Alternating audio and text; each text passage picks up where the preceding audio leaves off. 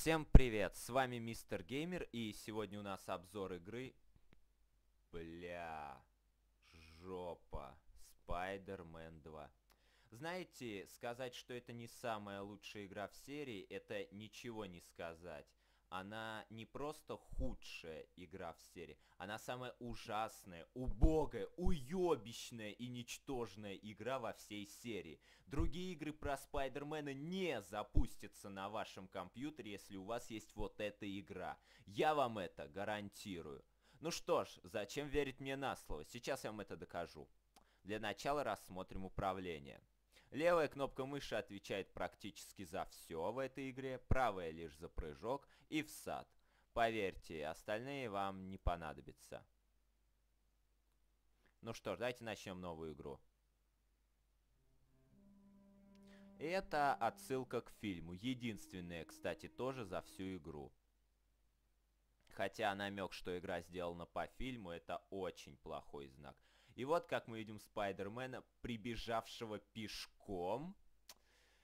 Блять, это уже настораживает. Реально, кого хуй он прибежал пешком? У него что, какие-то проблемы с паутиной? И вот нас просят зацепиться за висящий в воздухе кружок паутины, блять. Знаете, я не буду уже говорить про законы физики и прочее, нет. Но вы сами представьте, вот вы утром проснулись, решили выглянуть в окно, узнать, как погодка, и увидели там вот такую вот хуйню. Не знаю, как вы, а я бы, блядь, охуел. И передвигаться, да, передвигаться можно только по ним. И все, поэтому висеть они будут везде. Иногда, знаете, это будет казаться просто нереально идиотским. И, собственно, это вот первоначальный этап тренировочка, где мы познакомимся с остальными прием. Ведь игра так сложна. Сейчас мы попробуем забраться наверх. Давайте посмотрим. Блять, когда он передвигается боком, он же даже не касается ногами стены. Это пиздец просто. Это полный пиздец. Вот и все. Дело сделано. И почему-то каждый раз нам показывают убогий, короткий, никому нахуй не нужный ролик о том, что мы должны делать дальше. Хотя даже не об этом, а просто о том, куда нам идти, где находится следующий кружок. Действительно, ведь его, блядь, так, слож... так сложно увидеть. Но у вас есть стрелочка, так что не переживайте, которая нихуя не видит, нихуя не слышит и нихуя не подсказывает вам.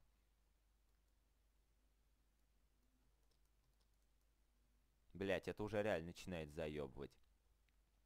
Знаете, я бы... Если бы у меня просто был диск с этой игрой, я бы, наверное, знаете, сначала ударил бы его хуем, потом поссал бы, потом посрал бы на него. Вот только так. Но, хотя стойте, у меня есть же диск с этой игрой. Блять, пиздатый квиктайм. Вот, у меня же есть диск с этой игрой. Вот я себе и нашел занятие на вечер. Ну, естественно, после того, как подрачу. Сами понимаете. Так. И вот у нас тут первый бандит. Давайте крутые супер комбы, как в Spider-Man The Movie, исправят положение. Вот я его и это было не очень эффектно. Давайте посмотрим на остальных двух. Да, ваши глаза вас не подводят. Это все, что у вас есть в этой игре. Дальше мы прыгнуть не можем. Стрелочки нет. Поэтому мы просто ждем. И вот мы видим плохо сделанную сцену погони. Кстати, вы помните этот фургон в фильме? Я, да, это было в одном из вырезанных дублей. Полиция бездействует, как всегда, блядь. Так, первый, второй. Естественно, как всегда в этой игре, я хотел сказать. И вот, водитель, который какого-то хуя ждал, пока я отъебу его товарищей, вместо того, чтобы съебаться. Так, нам предлагают ехать за фургоном. Но, честно говоря, мне особо не хочется. Так что полюбуюсь-ка я лучше на достопримечательности. Давай, ты же можешь. Блять, это выглядит так, как будто он цепляется за воздух или плавает по стене. Вот как-то так, честное слово.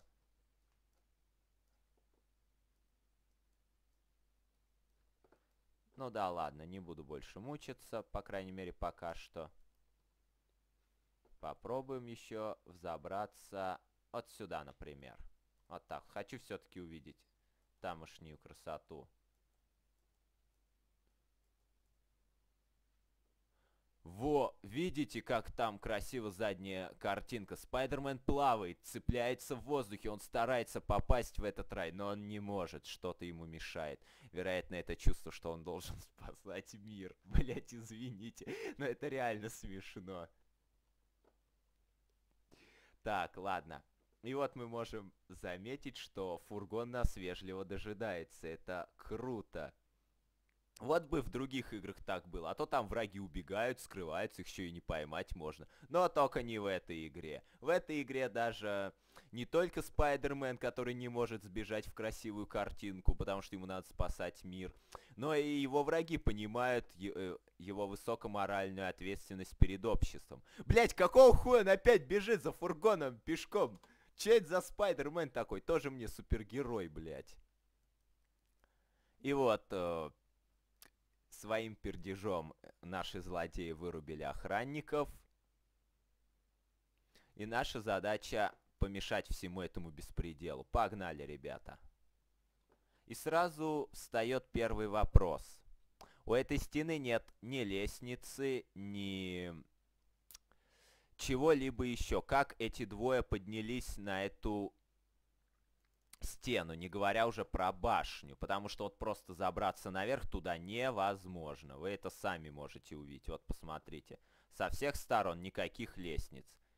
И тут у нас происходит драка еще круче, чем, не знаю, на футбольном поле. Видите, как она высоко организована, как активно лупят зеки свою бедную охрану, которая почему-то со щитами полиции, не знаю. Так, они побежали за помощью, я знаю. Блять, вы видели? Опять полиция испаряется в самый такой важный момент. В этой игре всегда будет так происходить, ведь мы же говорим про, только про игру.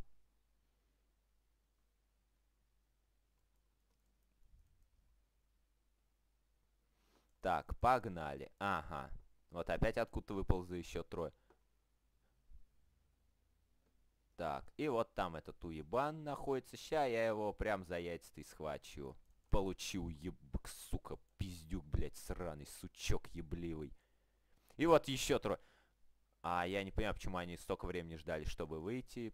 Правда, для меня это странно. Я бы на их месте уже бы давно дёру дал, вместо того, чтобы кого-то там пиздить. Как раз пока вот Спайдермен с остальными разбирается, я бы по-тихому съебал.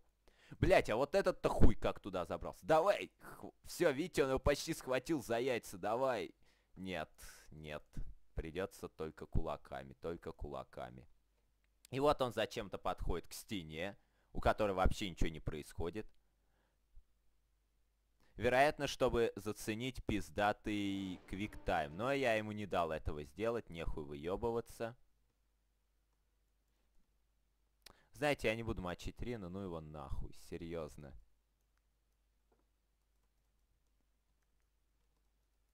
Так, ага. Ну, что я еще могу сказать про эту игру? Также здесь есть такие миссии, как просто найти и поймать подонка на улице. Но в основном они были арестованы за кражу пиццы, печенья или молока. Так что знаете, оставим ребят в покое. И так сидеть в тюрьме за такое, знаете, это как-то... И причем похожи, кстати, эти грабители все на супер братьев Марио. Знаете, я вам их показал, но я не помню, где они именно находятся, а искать и играть в эту игру еще я, блядь, не смогу нахуй. Ну что еще я могу сказать об этой игре? Кроме того, что вы уже видели, я могу сказать вам, что если, допустим, у вас есть дети... О, можно потянуть. Заебись, там даже дырки нету, чтобы вода, блядь, лилась нахуй. К тому же он еще и сквозь асфальт провалился. Не, ну это полный пиздец.